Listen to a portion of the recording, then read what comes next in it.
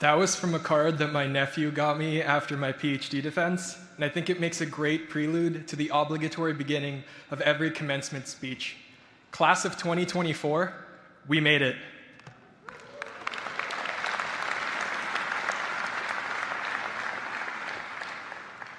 Mr. Chancellor, members of Convocation, fellow graduates and guests, my name is Nikhil George, and it is an absolute honor to represent the Faculty of Science as its inaugural graduate valedictorian.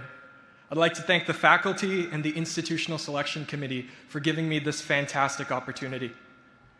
Being back on campus takes me back to the first time I visited to interview with my graduate supervisor. After we met, I was flooded with self doubt. My solution? Before I even got on the bus back home, I emailed her saying that I'm 100% on board to join the group. And so, my journey at UW began. Since UW attracts talent from all over the world, and since science traverses geographical borders, it is likely that many of you have had to build a new community since you arrived here. Just as I had built mine, the COVID 19 pandemic began.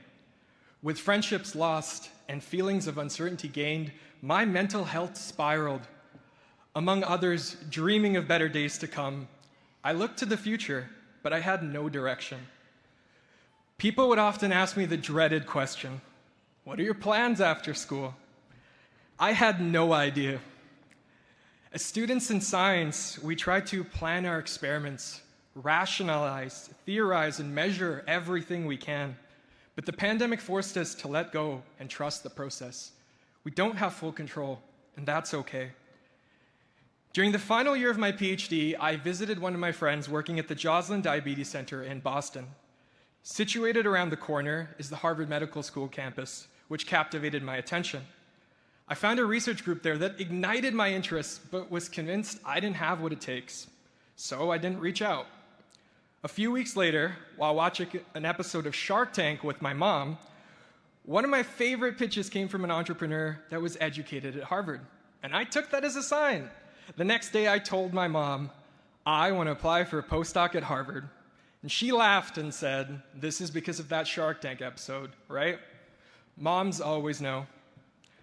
I finally sent the email, and eventually, I got one back from who is now my postdoc supervisor at Harvard Medical School. Even if the path ahead is not clear, if you keep walking, eventually you will get to where you need to be.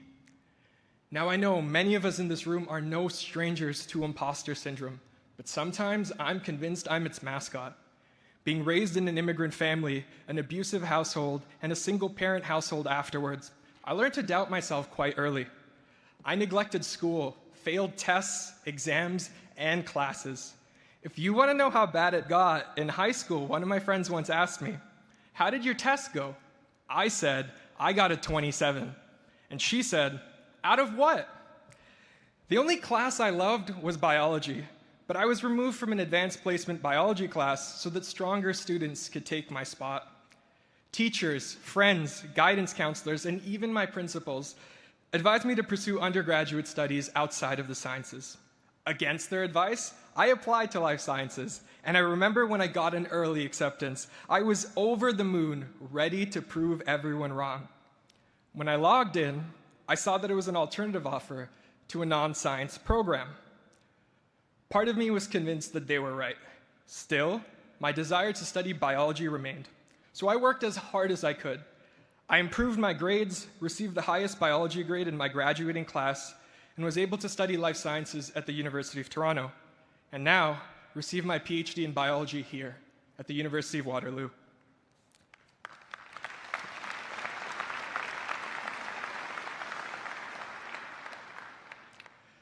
I truly believe that passion can overcome all else, and that sometimes it is not external circumstances, but rather the stories we tell ourselves that limit us.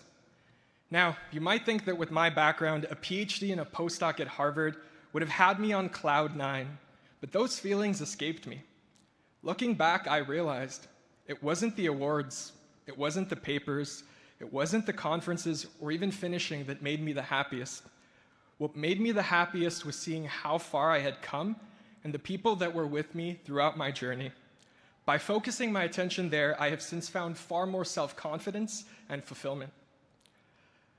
I would like you all to now take a moment to consider the challenges that you've faced in your life, academic or otherwise.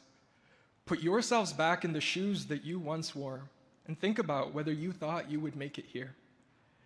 And now, think about the people that helped make this possible. Perhaps they're in this room, maybe you've lost touch with them, or maybe they're no longer with us.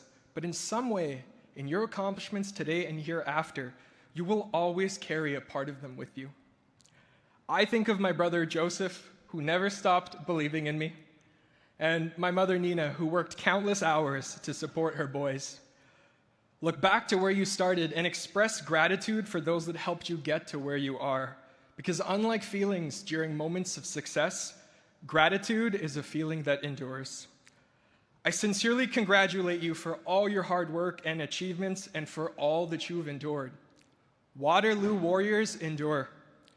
Graduation is just the beginning, and even if you don't know what's next, or if you are left with feelings of apathy, that's okay.